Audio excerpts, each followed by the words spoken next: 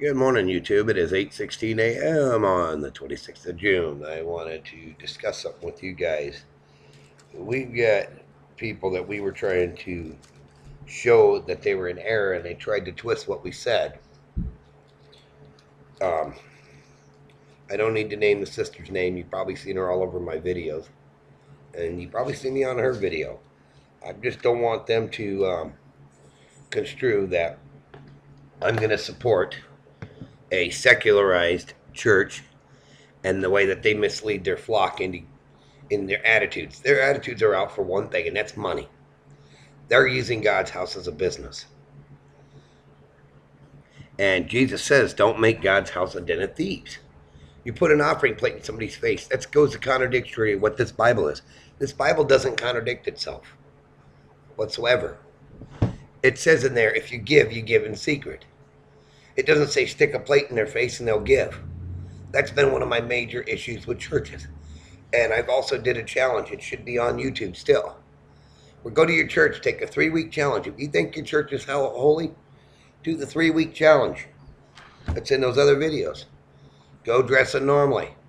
Reduce what's given the plate. See if anybody takes notice. Second week, dress in Morris clothing. Put less in the plate. Third week, find the worst clothes you can.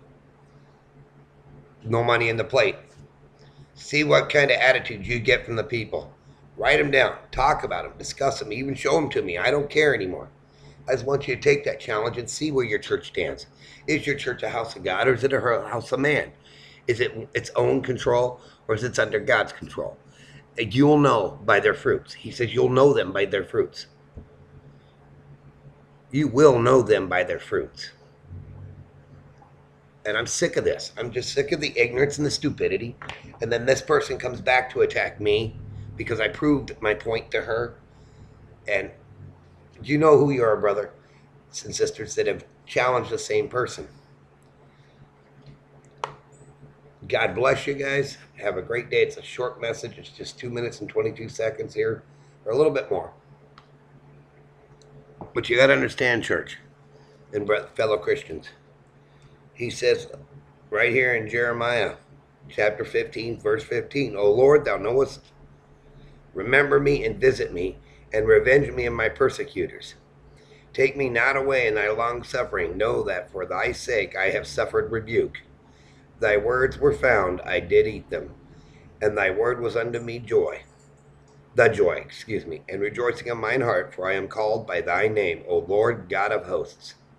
I sat not in the assembly of mockers, nor rejoiced. I sat alone because of thy hand, for thou hast filled me with indignation.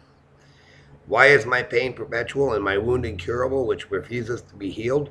Wilt thou altogether be unto me as a liar, and as waters that fail? Verse 19, let's go here. This one I really love too. Therefore, the saith the Lord, if thou return, then I will bring thee again, and thou shalt stand before me. And if thou take forth the precious from the vile, thou shalt be as my mouth. Let them return unto thee, but return not thou unto them. I and, and here's God's promise to him. And I will make thee unto this people a fenced brazen wall, and they shall fight against thee. They shall not prevail. But they shall not prevail against thee, for I am with thee to save thee and to deliver thee, saith the Lord. And I will deliver thee out of the hand of the wicked, and I will redeem thee out of the hand of the terrible.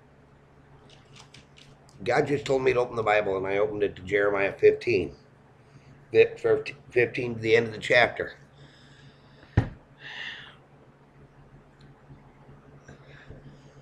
Mock me, ridicule me, scorn me.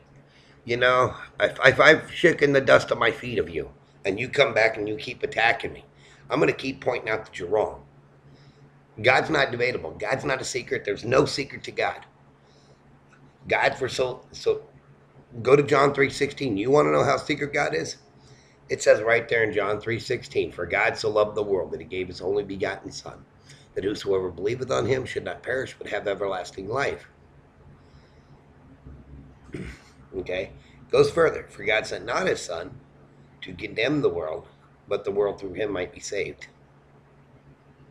So, um, Uh, that might not be exactly accurate, but that is the gist of what he's saying there. He loved us so much. There is no secret to God. The mystery of God is that He loves you. And He wants you to be up there with Him on Judgment Day. Perfect, whole, clean, white as snow. That's what He says. Uh, my boss, Keith, he made the perfect comment. This is just a shell. This body is just a shell. It's who we are on earth. Our spirit is what matters. And our spirit and our soul is using this body while on earth. Think about that.